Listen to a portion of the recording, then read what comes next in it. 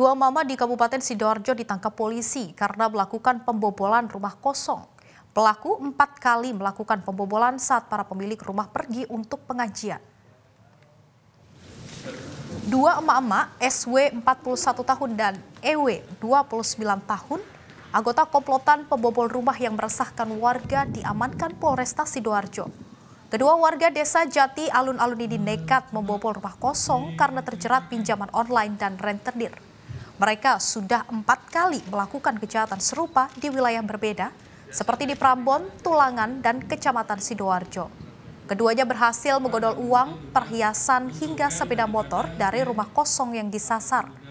Kini keduanya harus mendekam di rutan Polresta Sidoarjo dan terancam hukuman penjara 9 tahun. Jadi setiap kali di daerah-daerah akan ada kegiatan keagamaan seperti sholawatan, pengajian dan lain sebagainya. Ini pelaku pelaku itu sudah mengerti di daerah tersebut kira-kira rumah-rumah mana yang pemiliknya akan pergi.